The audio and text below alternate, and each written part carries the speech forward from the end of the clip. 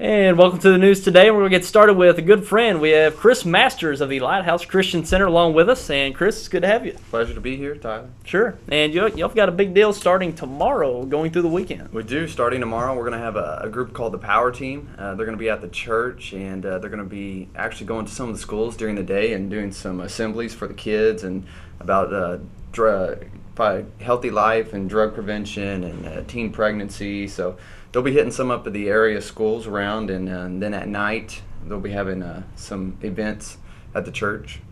Okay, and we've got a video to play. Do we have that ready? Okay, we've got that, and we'll just take a look at this video and see what the power team's all about.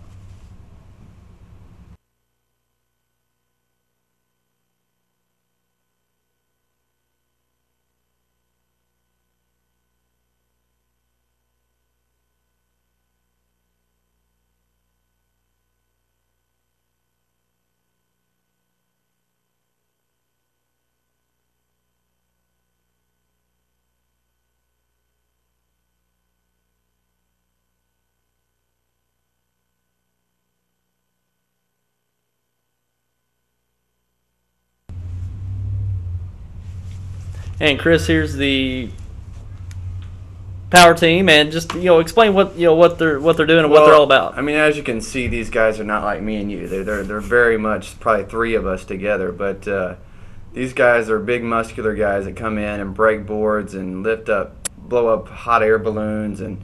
Uh, water bottles and, and different things like that. It's just a, a good time that stuff that we can't do, you know. So these guys come in and get to do it and and uh, be Mr. Rambo and it's just a fun time for all the families, and it's a good family event. You know, you can bring all your your whole family in and uh, let the kids enjoy it, and, and the adults enjoy it, and and uh, makes us men feel like we need to work out more. You know, very humbling. Yeah, exactly.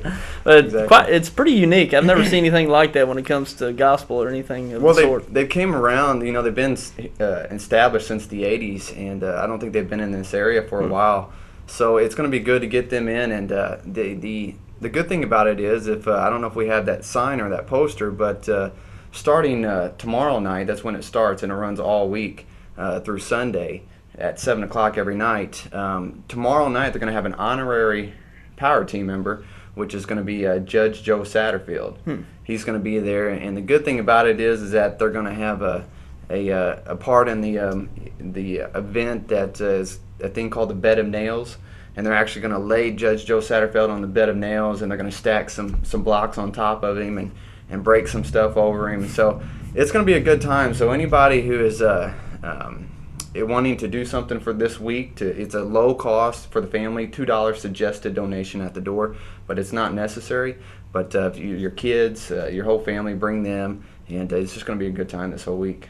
Sure seems like it, and very unique. I've never seen anything like that or even heard of the power team. So, in like you said, you know, we usually come across many things coming throughout right. the area when it comes yeah. to the gospel groups and things, but never heard of them, and it looks like it's going to be a good time. Well, if you're interested, uh, you can call the church. The uh, number is 573 624 2500 if you want some more uh, details. Uh, you'll probably notice some of the signs in the area businesses as well as if you drive on Highway 25 or 60 at the intersection where the church is, uh, you'll see a big sign out there on the property. So stop in this week during the week if you have any questions. Otherwise, we'll see everybody at 7 o'clock every night.